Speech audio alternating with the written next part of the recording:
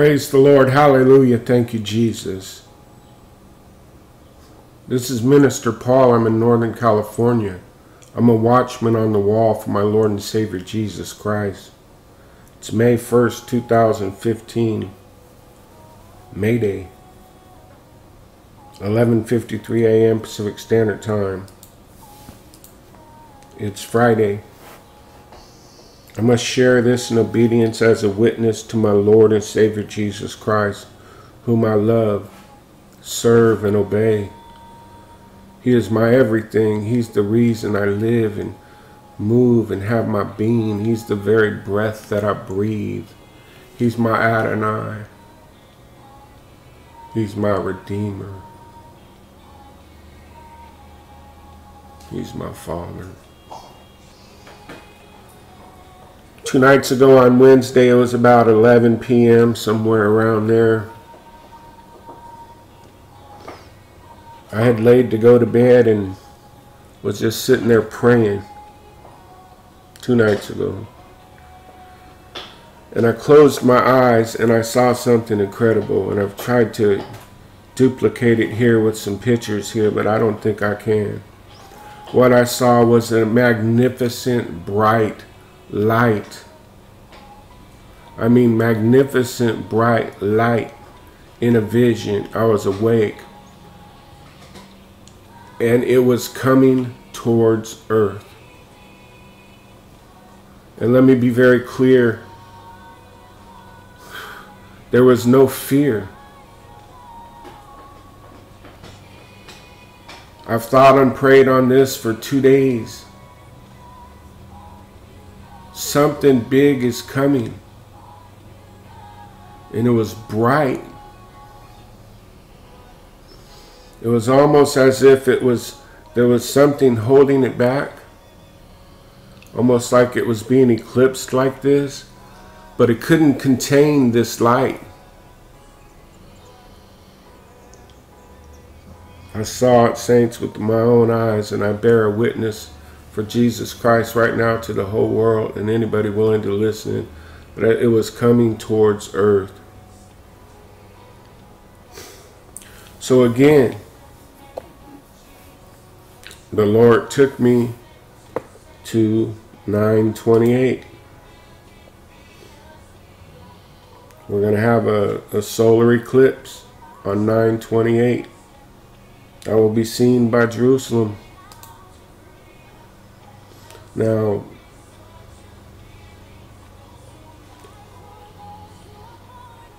I told the Lord I would be obedient and share this. And that there'd be confirmations coming in. And I think what the Lord is saying, look, I'm revealing things, Amos 3 7. And I'm telling you, they're coming. I'm telling you, this is the season. I'm showing you in the sky. I'm showing you with prophecy playing out worldwide. I'm declaring from the heavens and the earth what is to come. And I hear the Lord right now saying, Are you prepared? Are you ready? Do you even know? Hast thou not known? Hast thou not heard? Uploading this in obedience, and I know that I know that I know confirmations will come forward on this. It's obedience to the living God. Amen. Chris Potter here. Want to talk to you today about Nibiru Planet X Nemesis, Destroyer Hercolubus, whatever you want to call it for the moment, and how really it's possible to create huge, large underground tunnels. And we really do have the technology. Now, suffice to say, if at the highest levels of government all over the planet, politicians and government officials are very interested in boring and creating underground facilities. Now, I don't think it's to keep us safe from nuclear war. The only scenario that makes sense is there's an incoming body. out in our solar system that has the potential to wipe out most of the planet's surface. Okay? It would make sense why they are making these tunnels. Now, the first thing I'm showing here, look at this guy right here. That's a dude. Of course, this thing's to freaking jump all over the place. Oh, okay. Yeah, there you go. Let's go ahead and freeze on you. Okay, so here, uh, here's the dude. Okay, and here's the tunnel boring machine. Okay, look at the circle. Okay, now that's just real simple. It's a big, big machine. Okay, boom. Here's the next one. Looks like I'm going to have to do this on all of them. Here is a tunnel boring party where all the folks are happily drilling a large tunnel, another machine. Folks, these things are enormous. How do we not have the ability to create underground facilities? These things are huge. Do you know what they do? It melts. It melts the rock in front of it and creates a perfect glass cylinder. Pretty cool pretty cool, you know, that they have the ability to go and hide while the rest of us are going to get scorched. But that's fine. So there's one in action, okay? That's the English uh, Channel tunnel drill, you know, back in the day. Here's an underground facility. So they actually exist, you know, they're not bull. Okay, here's an underground facility that has jets in it. Military jets. Oh, but no, we don't have underground facilities. Okay, here's one right here. This is a secret one where the guy was in the semi and took a picture. He wasn't supposed to. So that's when it's like, whoa, dude.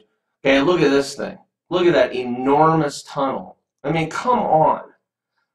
Look at that enormous area bored out, it looks like, by two of the little thingies. They're not little, these two huge I'm just showing you pictures. I'm a nobody, man. I'm a freaking nobody. Another tunnel, bored out tunnel. Another facility where people can drive. It's a highway. Okay, there's a ship coming out of the side of the friggin' mountain. But we don't have the technology to create underground facilities that are enormous. Look at these machines, man. This is a nuclear powered one. NTBLM, I think that's what they're called. Look at that. Holy crap. Hey, just do a search for underground. I mean, these things are enormous, folks. They've been doing this for years. And I know it's not just for Nibiru, it's for real, like, you know, underground tunneling for sewage and water and power, right? And also for resources and uh, materials and rocks and minerals, etc. Right? Okay, I understand that. But why all of a sudden are we at high gear all over the planet for the last four or five years to create as many of these facilities as we can? Here's some of the patents. Man, this stuff's real. It's not bull. Here's another patent on Google. US 3885832A. All right, and now, okay, this is really cool. This is the offer, uh, Office of International Programs from the U.S. Department of Transportation, and it shows basically how underground tunneling safe driving is all over the world. Folks, we have the technology. Look at this. The technology is there. They are hiding. Okay, that's where they're going to go we're going to stay on top. They're going to be all fresh and happy inside, okay? And they think that, you know, the deluge that will happen, the second deluge, is not going to affect them. Another underground highway, okay? But no, they don't exist. Another one. More entrances to tunnel highway systems. Here's another one, and another one, and there's a repeat one I had before. So, just a couple pictures on machines, facilities that are underground, as well as little highway systems and patents. I understand, again, that it is not all for hiding the jerks from the incoming mini solar system. However, we do know, you know, it's for rocks and materials, and minerals, etc., and sewage and water and power, right? We understand that for drilling for whatever materials materials that we need. But then why all of a sudden are billions and trillions of dollars going into it the last four or five years?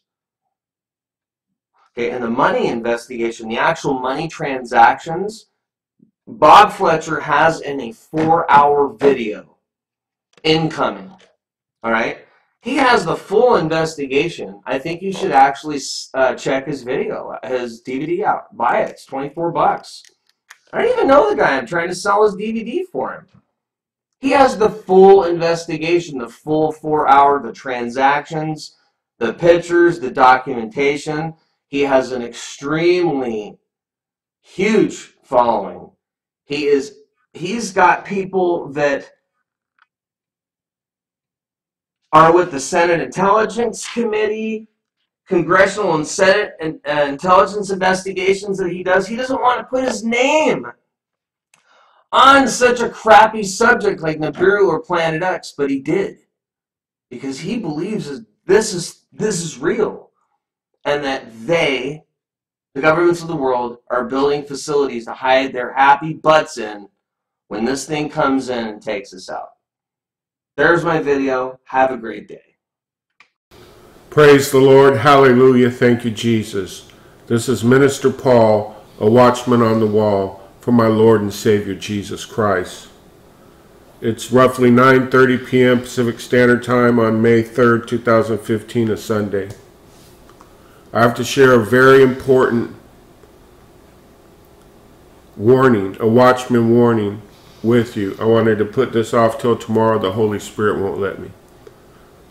I don't know if you watched the video before this. You just go one back where I was awakened with a dog bark at 3.30 in the morning. And then I talked about uh, the great shaking coming. And then I read from uh, Ezekiel 33 about being a watchman and how the Lord had spoke to me and said, uh, the earth's mantle it's just one video back on today's date, 5-3, the Earth's Mantle.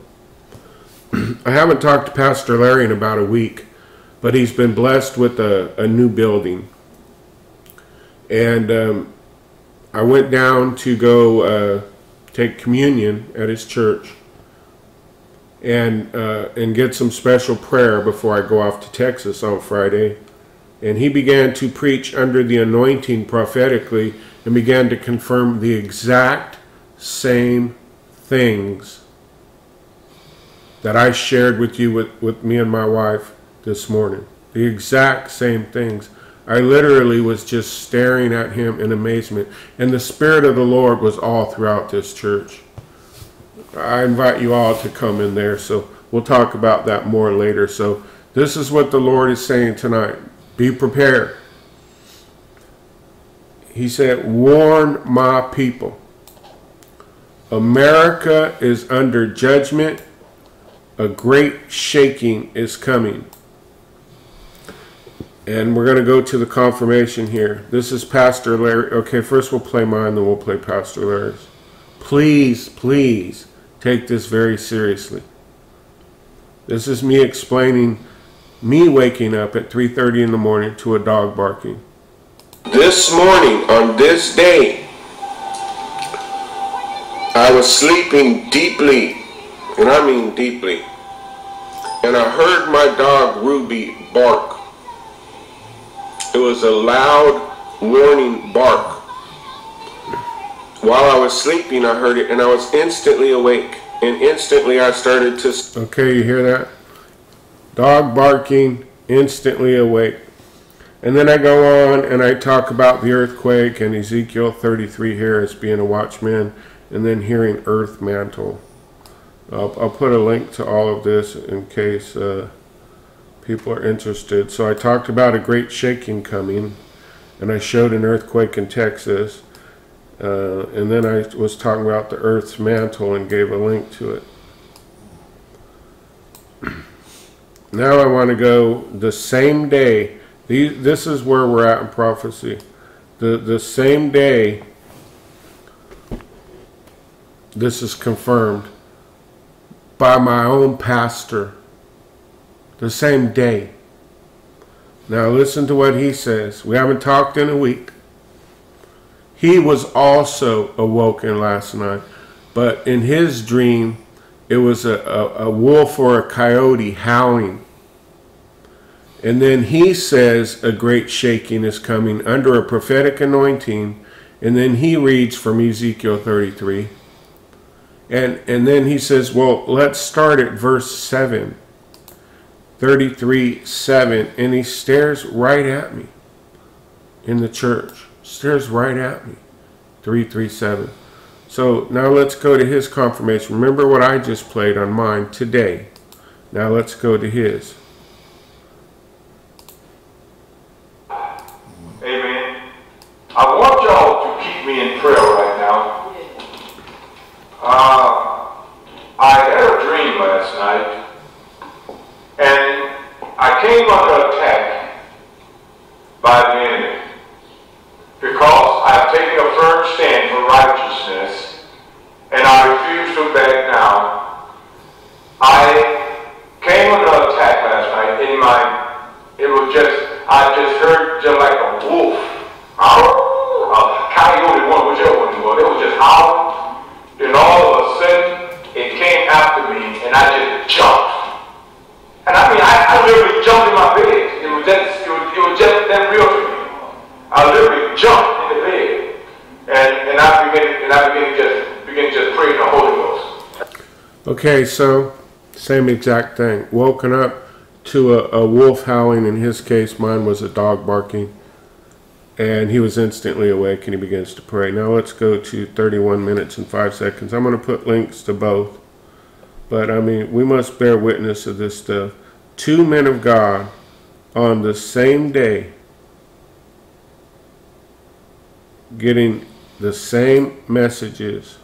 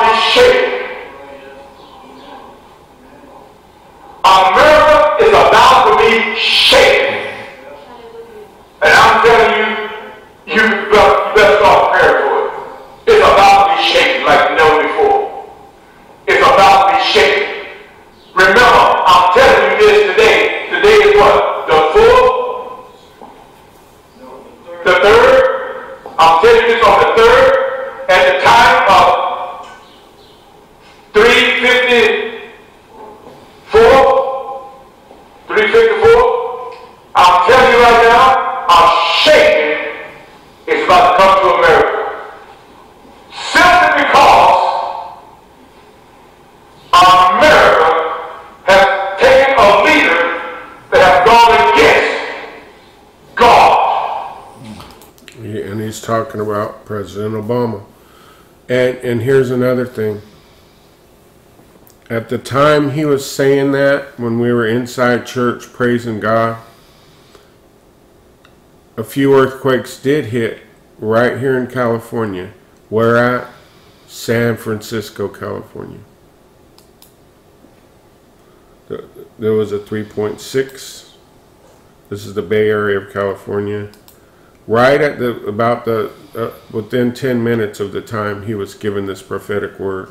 And then another one came in and then arizona and then another one up north here north of where i live. So one two three in california since he gave that message.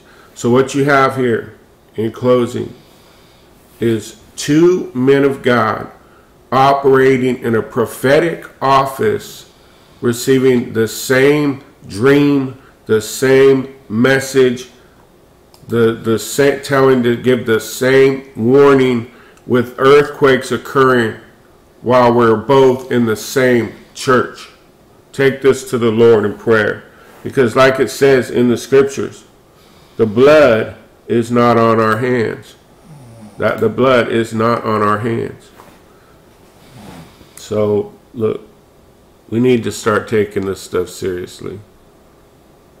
I mean, seriously. Show.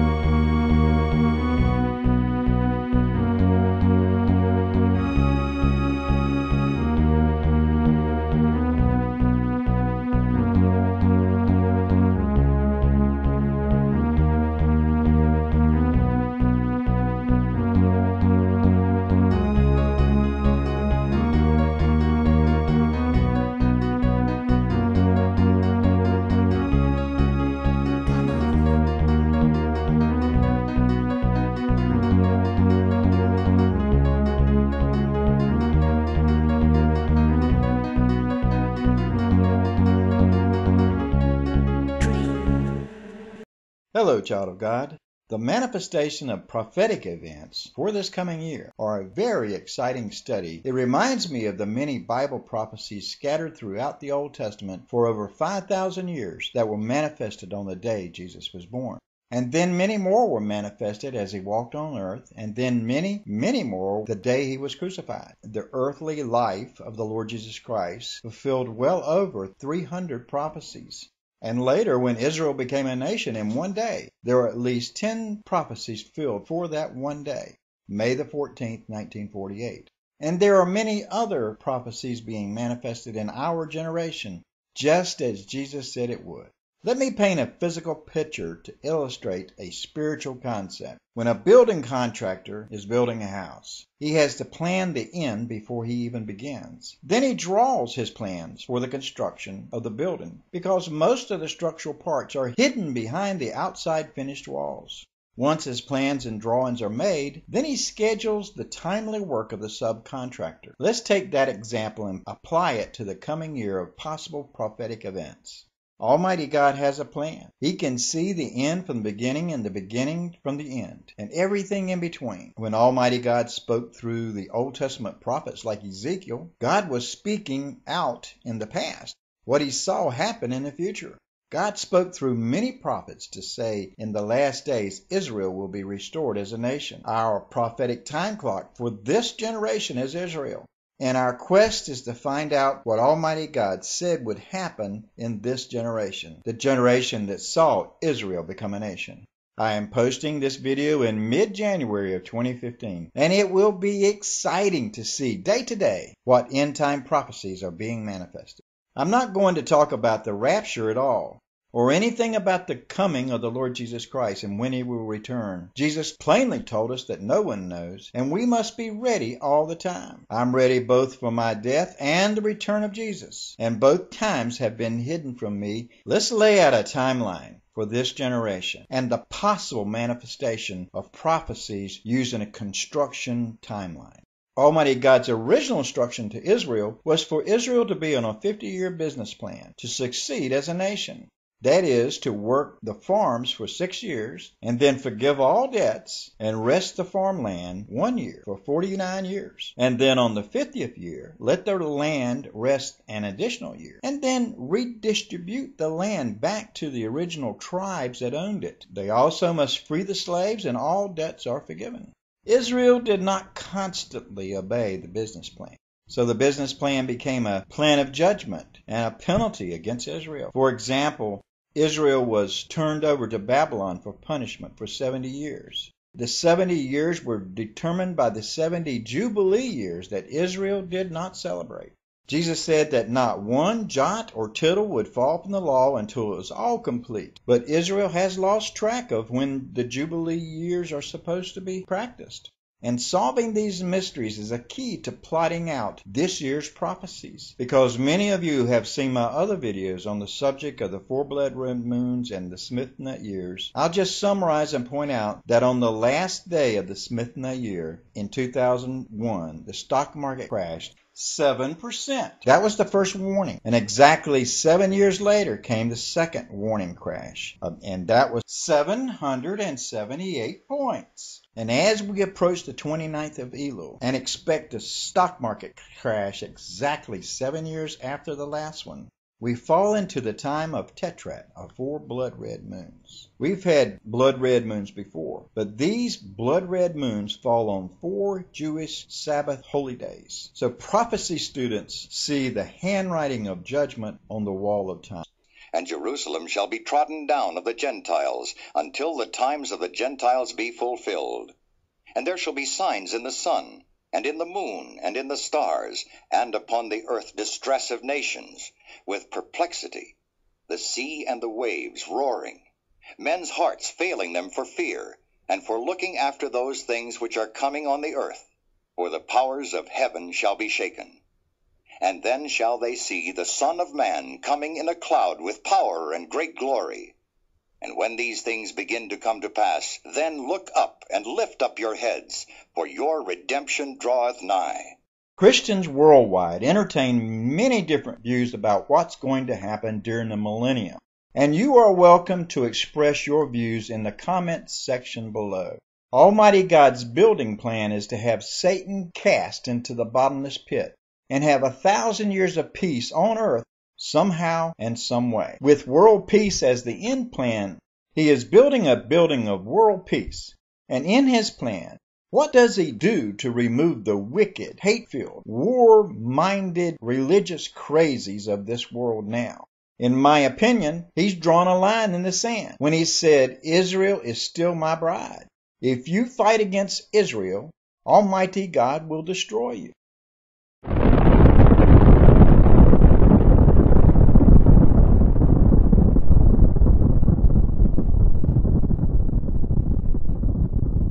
And this shall be the plague wherewith the Lord will smite all the people that have fought against Jerusalem. Their flesh shall consume away while they stand upon their feet, and their eyes shall consume away in their holes, and their tongue shall consume away in their mouth. Even if Israel sins as much as every other nation on earth, their sin will still be judged by Almighty God alone, and not by the UN, and not by Russia, or the EU, or the Muslims, or anybody else on the face of this planet. It seems to me that Almighty God is drawing the enemies of Israel into wars against each other, as he said he would, and then drawing enemies into wars against Israel to be destroyed.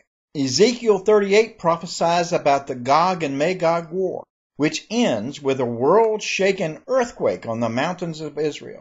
It also describes what could be airburst of a meteor storm over Russia, Iran, Turkey, and several other nations, burning away most of their infrastructure. An airburst meteor storm is also one more thing, which would cause Joel 2 to be manifested. And I will show wonders in the heavens and in the earth, blood and fire and pillars of smoke. The sun shall be turned into darkness, and the moon into blood, before the great and the terrible day of the Lord come. And it shall come to pass, that whosoever shall call on the name of the Lord shall be delivered. For in Mount Zion and in Jerusalem shall be deliverance, as the Lord hath said, and in the remnant whom the Lord shall call. And I beheld when he had opened the sixth seal, and lo, there was a great earthquake, and the sun became black as sackcloth of hair, and the moon became as blood, and the stars of heaven fell unto the earth, even as a fig tree casteth her untimely figs when she is shaken of a mighty wind. And the heaven departed as a scroll when it is rolled together, and every mountain and island were moved out of their places. The first angel sounded, and there followed hail and fire mingled with blood and they were cast upon the earth, and the third part of trees was burnt up, and all green grass was burnt up. And the second angel sounded, and as it were a great mountain burning with fire was cast into the sea, and the third part of the sea became blood, and the third part of the creatures which were in the sea and had life died, and the third part of the ships were destroyed. And the third angel sounded, And there fell a great star from heaven, burning as it were a lamp, and it fell upon the third part of the rivers, and upon the fountains of waters. And the name of the star is called Wormwood. And the third part of the waters became wormwood. And many men died of the waters, because they were made bitter. And the fourth angel sounded, and the third part of the sun was smitten, and the third part of the moon, and the third part of the stars. So as the third part of them was darkened, and the day shone not for a third part of it, and the night likewise. When we look at world events, Benjamin Netanyahu on October the 1st said he would attack Iran's nuclear weapons program. As soon as Israel attacks Iran, the Middle East will go into conflict, oil prices will skyrocket, and the drunken sailor U.S. economy, U.S. dollar is going to hit the ground. You need to prepare. I need to prepare. Israel will attack Iran. Iran will respond. The whole Turkey and uh, Saudi Arabia, and all of those nations will be affected, even if it doesn't become the Gog and Magog war. Have you noticed the pattern of signs here? The four blood red moons are like a blinking red light, and soon this moon will turn completely red. It seems as if Almighty God is clearing and renovating the land so that he can build in peace and then rest for a thousand years. Joel prophesied about it, then Jesus prophesied about it in Matthew. Then Peter preached on the day of Pentecost the words of Joel The sun shall be turned to darkness and the moon to blood before that great and terrible day of the Lord comes. Then there's Revelation 6. He opened the sixth seal, and I looked, and behold, there was a great earthquake. And this lines up with Ezekiel 39, the Gog and Magog war with Israel. Almighty God sends a great earthquake to the earth, and buildings fall down all over the earth. Mountains fall down all over the earth. The whole earth trembles. And of course, in Revelation, the sun became black as sackcloth, and the moon became like blood. This also lines up with Joel chapter 2. And the stars of the sky fell to earth as a fig tree sends its winter fruit when shaken by a gale. Now, this also sounds like a meteor storm over the earth. The sky vanished like a scroll that is being rolled up, and every mountain and island was removed from its place. There you go. That is Ezekiel 39 and 40. This also confirms Joel's end time prophecies. And I haven't even explained what happens during Daniel's 70th week. And then we move to Revelation chapter 8, where a third of the sun and a third of the moon are darkened. Let's just ask, what do you think Almighty God's goal is in sending all these horrible problems to earth? I believe that most of mankind will have to be exterminated before the Lord Jesus Christ begins his rule on earth for a thousand years of peace. These times were prophesied by the Lord Jesus Christ. When you see these things happen, the things going on in Jerusalem and Israel and Zion worldwide, when you see these things manifesting, look up for your redemption is drawing near and start praying. Pray hard. Almighty God can see Satan totally defeated and being punished in the lake of fire. The Lord Jesus Christ defeated Satan on the cross, and now we must each defeat Satan with the blood of the Lamb, the words of our testimony, and die in the faith of the Lord Jesus Christ. That is, to love the Lord Jesus Christ more than we love our own life. The Lord Jesus Christ spoke to each of us concerning these end time events in the New Testament book of Luke. Heaven and earth shall pass away but my words shall not pass away. And take heed to yourselves, lest at any time your hearts be overcharged with surfeiting, and drunkenness, and cares of this life, and so that day come upon you unawares. For as a snare shall it come on all them that dwell on the face of the whole earth. Watch ye therefore, and pray always, that ye may be accounted worthy to escape all these things that shall come to pass, and to stand before the Son of Man. The instructions the Lord Jesus Christ gave us is that we should pray that we are able to stand before the Son of Man. My friend, no one is able to stand before the Son of Man unless he is washed in the blood of the Lord Jesus Christ. There are none righteous, no, not one. We have all sinned and fall short of the glory of God.